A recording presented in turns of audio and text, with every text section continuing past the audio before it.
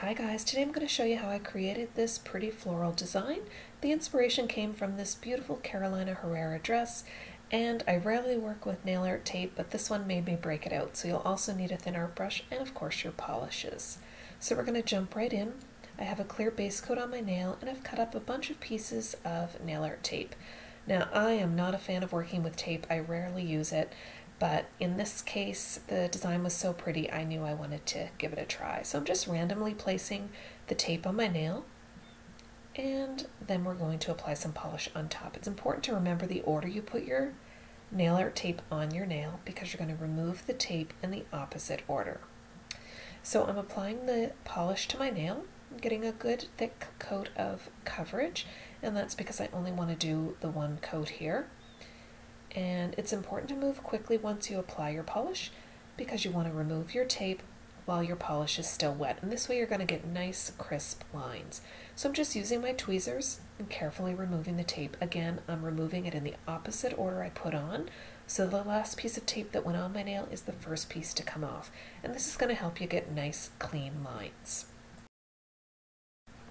Okay, so for the flowers, we're going to create them the same way I create most of my flowers in my previous tutorials. The only difference here is I'm kind of doing it like a little bit of a puzzle piece. I'm creating the flower in pieces, leaving behind those negative space stripes because I want this broken flower design. For the base of the flower, I've got two pink shades of polish, a dark and a light, and I've mixed them together on a piece of tin foil. And this just gives the flower, I feel, a little bit more dimension rather than just a flat color for that base.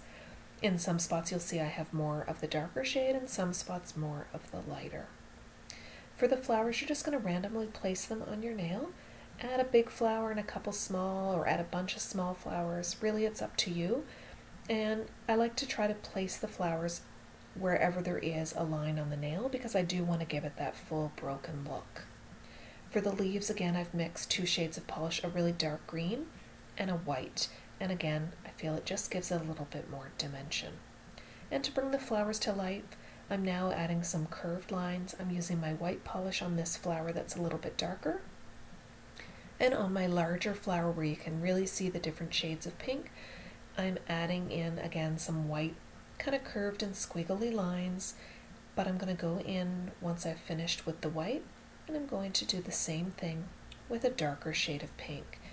I don't add these curved and squiggly lines with the darker shade of pink to the full flower but just on the lower half and I feel it just gives the flower more of a 3D look. And of course the most important thing with any nail design is to give it a really good top coat, and I find a good top coat really smooths out and finishes the design. If you guys like this one and recreate it, don't forget to hashtag me. I love seeing your recreations on Instagram. And of course, thumbs up and comments are always so much appreciated. And please subscribe so you can get notified whenever I post a new video. Thanks, guys.